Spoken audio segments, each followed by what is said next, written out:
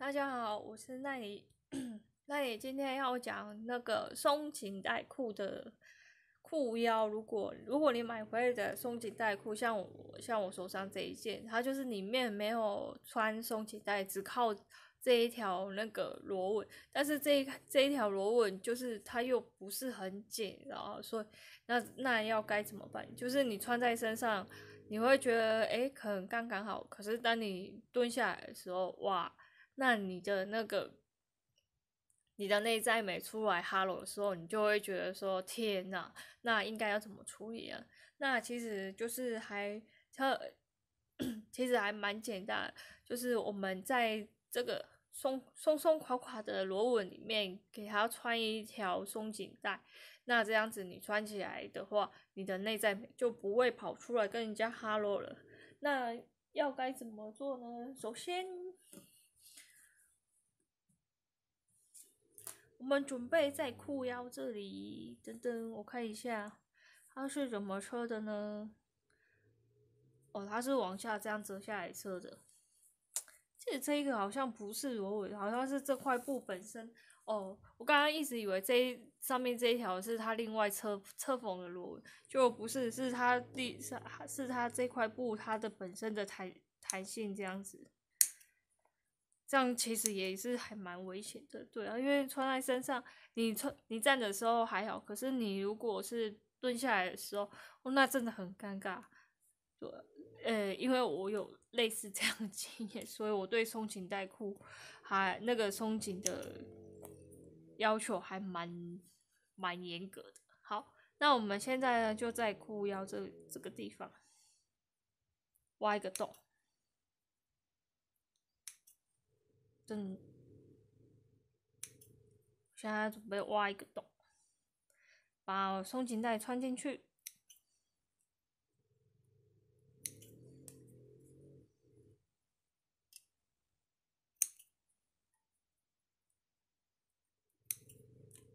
好，大概是这样子，大概是这样子，再大一点。好。挖好一个洞之后，准备好我们的松紧带。那松紧带的话呢，就是依照你的腰围下去裁。那像我的话，我帮人家剪、帮人家改松紧带裤的话，我通常就是，比如说这个客人他的腰是三十，呃，三十二，那我大概会剪三十三，然后车缝的时候就是，呃，车三刚好三十二，或者是三十一半这样子，但是我松紧带会故意剪长一点点，对，因为我怕说，如果哪一天他如果说，呃，他觉得松紧带太太紧的时候，想要就是松一点的时候，呃，至少我剪长一点，还可以帮他就是放放宽一点，这样放长一点这样子，对。那有人就会说，那也没有剪短也没有关系啊，就另外再接接一小段就好了。对，但其实我不太喜欢这样接，我宁愿剪长一点，也不要就是一条松紧带上面接了好几段那个小段的松紧带这样子。对，好，好，那就不要太讲太多的废话，我现在就准备穿松紧带进去。那我现在就拿出我的小夹子。这去十元商店啊，或者是手工艺品店都会都有买。那你就跟他讲说，我要买穿松紧带的。那它会有两种工具，一种工具是我这一种，另外一种工具就是长长的，然后前面好像有一个特别明显的钩子这样。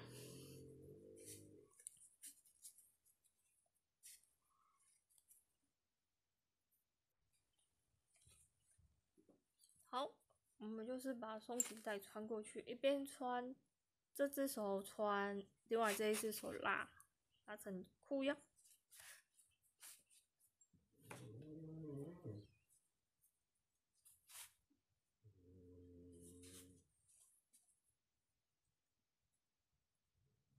好，继续。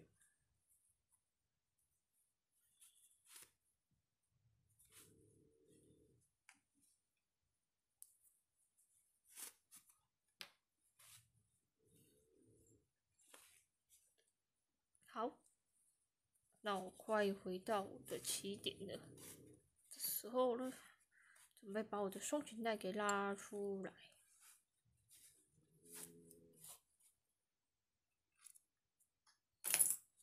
这时候拉出来了，我我会把双裙带两端的头对齐好，然后用夹子夹着，然后准备拉，把裤腰平均拉平均这样。那因为我松紧带有用夹子夹起来，所以就不用担心它会跑进去。所以看一下，好，他给我跑过去另外一边，我把我的松紧带拉回来。那有时候小心点，因为我刚太 刚太大意了，就要把我的松紧带。头拉进去，那我现在要把另外一头抓抓进来。对，刚我应该要把两边的头抓住的才对，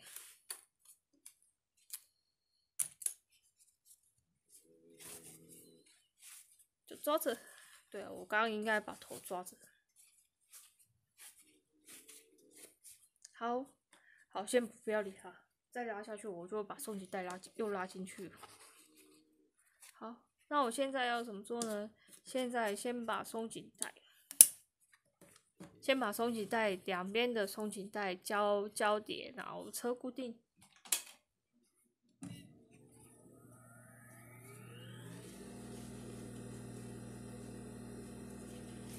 车车固定，小心车的时候不要车到布。好，很好，我的线给我跑掉。串一下线。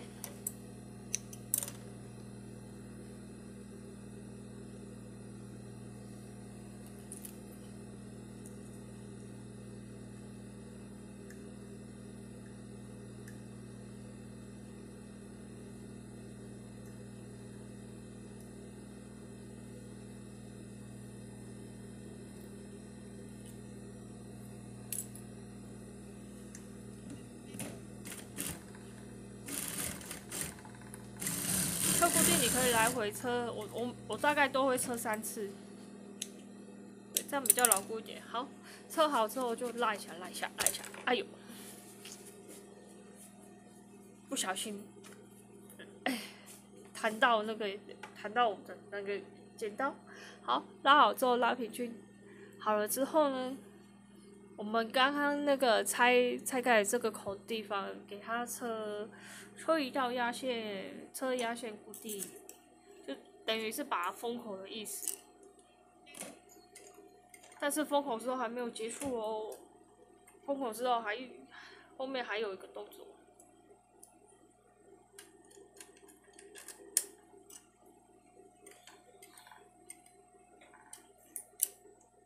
好，刚刚这里，然后这里呢，如果你布本身。毛边没有很严重的话，你可以不用考课；如果很严重的话，那你就要考课了。那我没有要去考课。起针的话一样，起针跟结束都一样，要都倒针，然后这一道腰线。好，结束倒针。上好之后把线头剪掉。刚好这一件裤子。除了蓝色，还有其他颜色，所以我车一道压线也看不太清楚。车好之后还没有结束，因为我刚刚发现，就是你的那个你的裤裤腰啊，比比你的松紧带还要大。那你你这样子在穿的过程中，就是穿啊或者是洗啊，它这这松紧带在里面，它会很容易翻来翻去的，因为你松紧带没并没有把它包得很紧。那你可以怎么做呢？我看一下，你可以有的人会在松紧带中间车一道压线，但我不喜欢这样做，因为你到时候松紧带松了要换松紧带，那你车车的那一道压线，到时候又要拆的很久，然后车到拆到那个什么，拆到昏天暗地，然后又觉得说当初为什么自己要多多车那一道压线。所以我不喜欢这样车。那我通常都是在那个呃，在四个地方，就是屁股、还有前面、还有这这两侧的地方，车一道短短的直线固定住那个松紧带。那这一件裤子呢，我是想要前后多车，好不要好了。那还有一个方法，如果说你可以麻烦一点的话，那你就是在在你的裤腰这边松紧带下面，大概下下来靠近零，诶，看一下松紧带在这里啊，你大概在旁边这样这样去，应该大概零点五公分吧，再多车一道压线固定，就是把你的松紧带包得很紧这样子，那它在这里面的话就不会翻来翻去的这样。好，我决定不再试个。不在四个地方车压线，而是直接再多车一条那个那个裤腰的压腰那个压线，所以我会在重点在旁边车一直线。这时候我的导风器出现，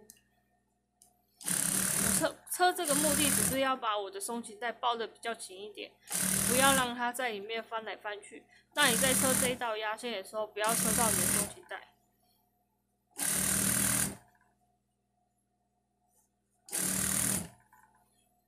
我曾经有一次车那个裤腰在车腰线的时候，呃，车到松紧带，然后结果发现那个松紧带在拉的时候有听到线断掉的声音，然后还有一个就是那个松紧带，呃，在裤腰上看起来没有很平均，就是一边松一边紧，然后后来才发现说原来是因为我车到松紧带了，所以才会这样。就是你车到的地方刚好它的松紧带在里面没有呈现很平均的状态，可能就是一边紧然后一边松这样子。好，那我就再多车一道，我就是在这里再多车到一道那个压线，然后把我的松紧带包包的比较紧一点。那到时候我在穿的时候或者是洗涤之后，它就不会在里面翻来翻去的这样子。那如果说你觉得，在你的裤腰再多车一道压线太花时间的话，你可以像我，就是在这呃屁股还有前面这个地方，还有两侧地方车一直线的压线，把你的松紧带就是呃固定住，固定的死死的这样子，这样其实也可以，那它就不会这样子翻来翻去了。